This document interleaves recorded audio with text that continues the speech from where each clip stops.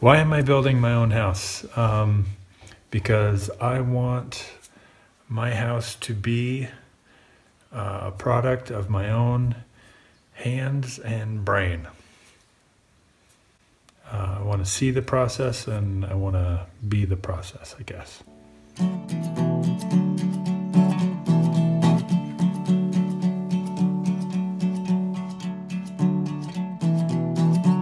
I wanted a um, earthbound floor, uh, meaning that it's actually tied to the ground, so that its temperature is stable. It's going to stay cool in the summer, um, and with the uh, piping that we put in it, we're going to be able to heat it during the winter.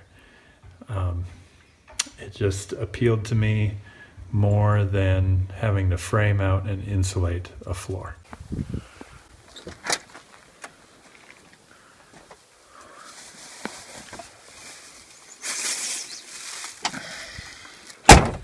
Does that look like $300 worth of equipment? All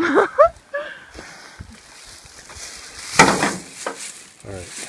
Do you want me to talk about it? Yes. Okay. So we're getting ready to polish our concrete floor. It's going to be our finished floor. We're going to polish it and stain it and some sort of sealer on it. I haven't decided what yet. Um, so I've borrowed a just a regular floor buffer from our concrete guy, nice guy, and he has it outfitted with diamond pads. Although his pads were worn out and uh, even the Velcro uh, that keeps those pads on um, is worn out. So I had to outfit the, I had to get new diamond pads for this floor buffer and it wasn't cheap. So you can see someone ran it way past being done. I don't have the, the old diamond pads that were on there. But these just bolt on. But that's it's completely smooth. There's no no velcro to that at all. These are the new diamond pads. So no sticky. Nothing. See how this did. Ooh, that's pretty good. That'll work. So, just have to go through there and get all these on there and tightened up.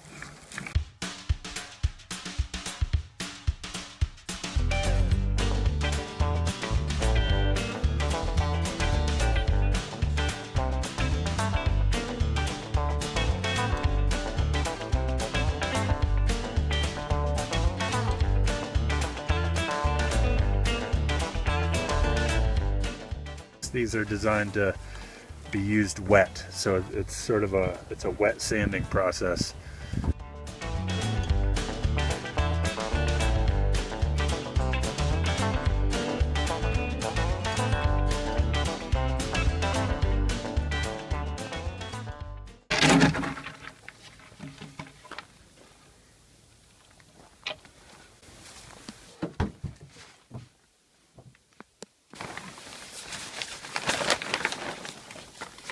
Pretty classy. You're a classy guy. I know. I don't want anybody in there. A lot of hours have gone into polishing it and uh, cleaning it. Keep out. Who do you think he needs to keep out? Yeah, Who else? sugar. Who else? Us? Yes, you!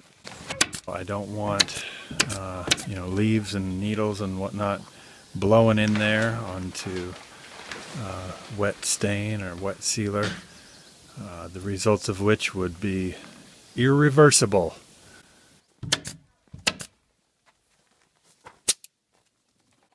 That's the color. Mustang.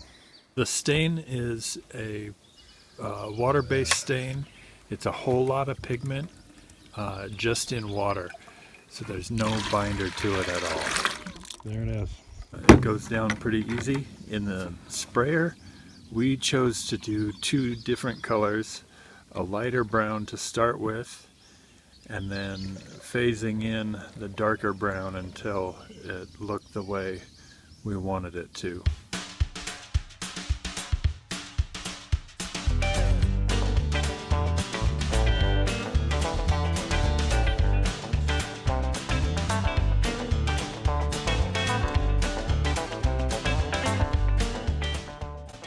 Kind of hard to tell what the stain is going to look like until the sealer is on it though.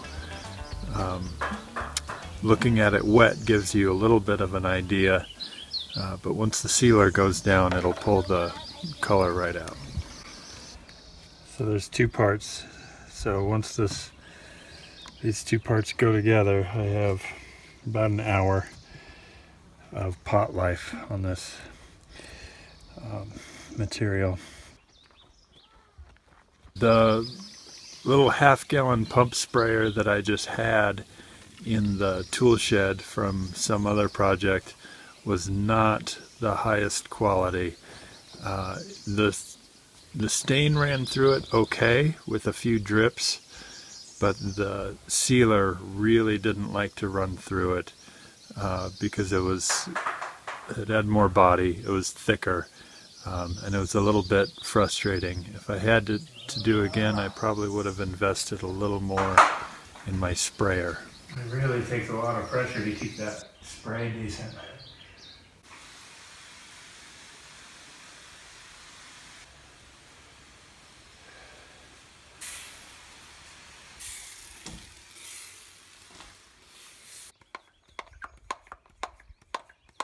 I don't think I'm affecting the look necessarily. I just think that was a frustrating process.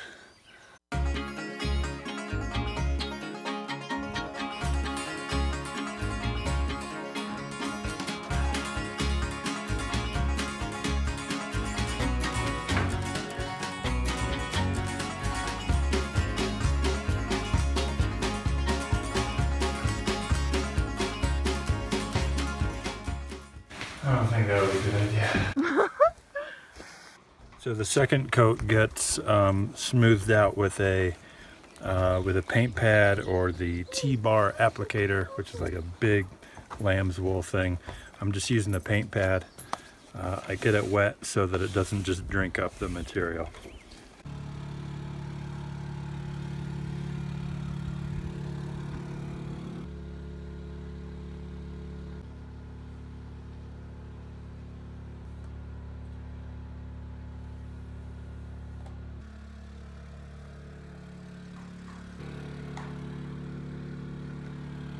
I think it's beautiful. I think it's very, very handsome. You think it's handsome?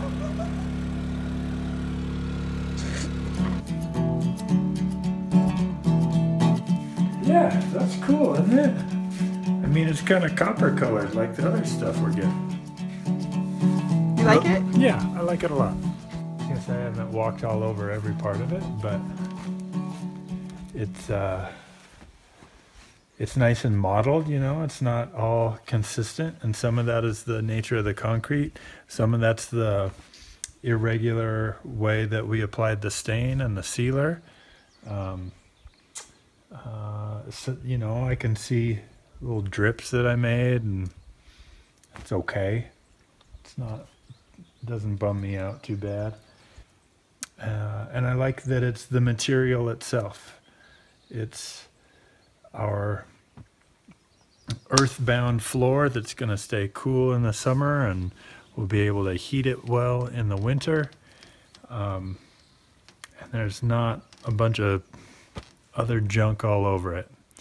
It is the material that it is. And I like that.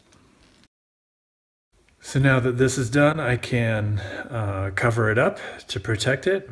I'll be rolling out rosin paper uh, and probably putting down some plywood like under the staircase uh, where I'll be doing some welding. Really protect it and keep it from getting dinged up or burned or, uh, you know, it's got a finish on it now. It's our only finished surface, which is a big deal. Um, and then I can start framing out the bathroom uh, and some other little uh, interior walls. do the interior framing, and then we're ready for electrical. So framing next, electrical to follow.